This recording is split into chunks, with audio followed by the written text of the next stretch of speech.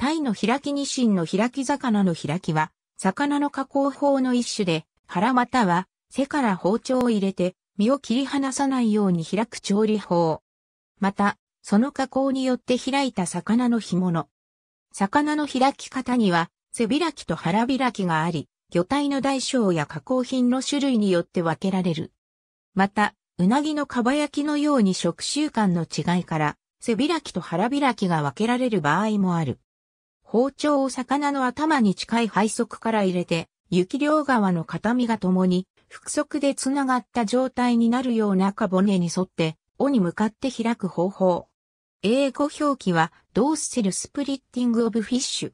サンマやスケトウダラなどの塩缶品、サバの塩蔵品などに用いられる方法である。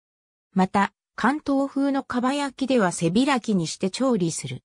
背開きの方法には次のようなものがある。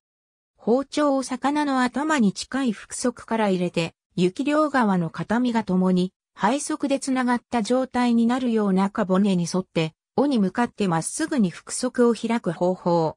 エラや綿を取り去った上で腹開きにする。ウルメ開きとも言う。英語表記は、ベントロルカッティングオブフィッシュ。